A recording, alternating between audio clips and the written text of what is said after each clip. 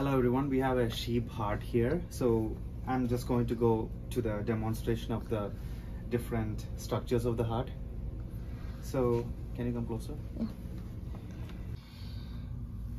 So this is the apex, the sharp portion, which is the left side of the heart, which is the thicker portion of the heart.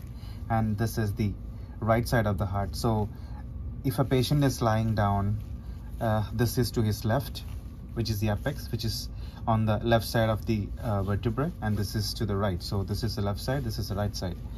So this is the left atrial appendage of the heart and this is the right atrial appendage of the heart. It's like the flippers of a penguin.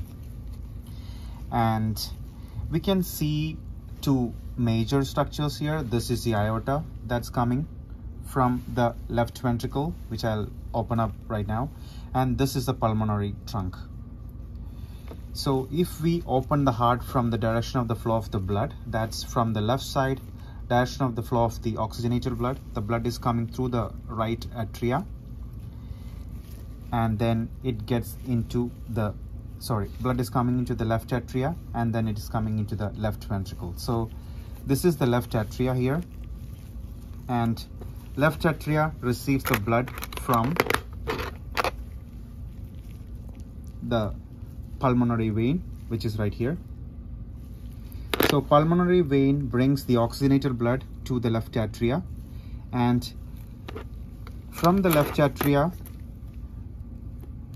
it faces the valve which is a bicuspid valve which has two flaps. This is called as a mitral valve or the bicuspid valve.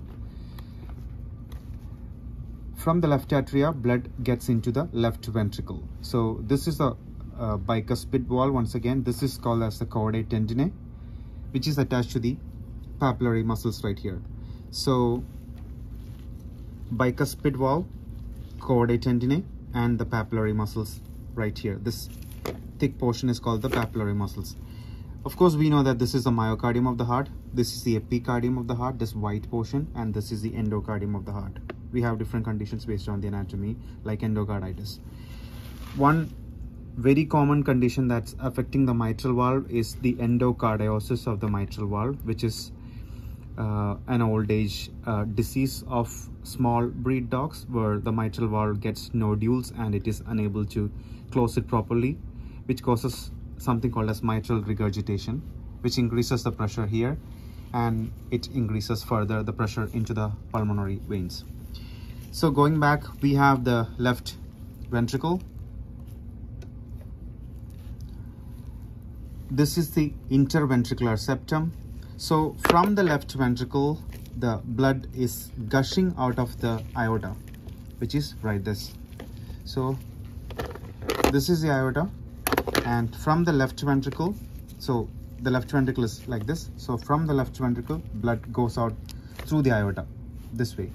And there is a bifurcation of the aorta aorta which is called as the uh, brachiocephalic trunk.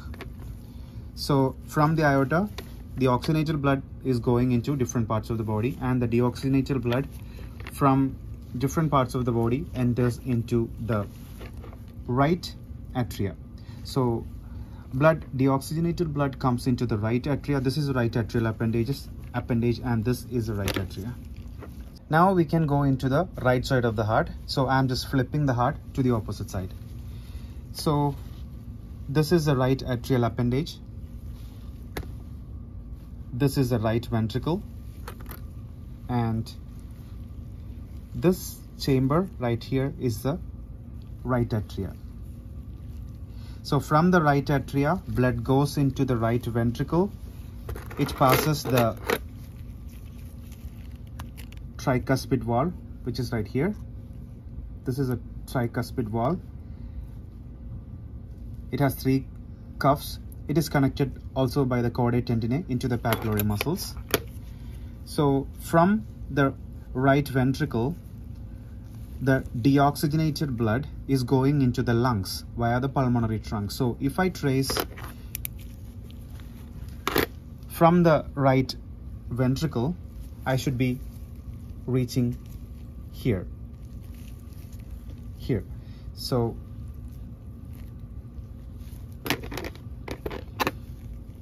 this is a pulmonary trunk.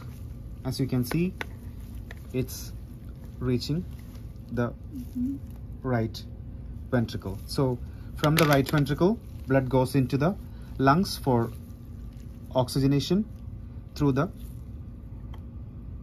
pulmonary trunk. And we have a few more things. These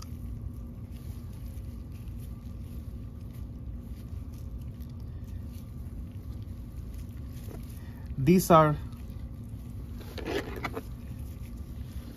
these vessels right here. So this is a left side. So these vessels right here are bringing the oxygenated blood into the left atria. So these vessels are the pulmonary veins. So pulmonary veins are the uh, ones which bring oxygenated blood into the left atria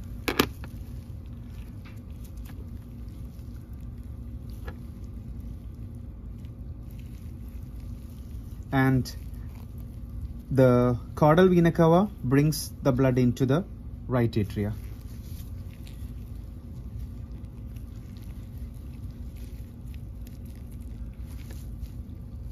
So this is the caudal vena cava which brings the blood from the entire body into the right atria. So right atria, deoxygenated blood uh, fills into the right atria. It goes through the uh, tricuspid valve into the right ventricle.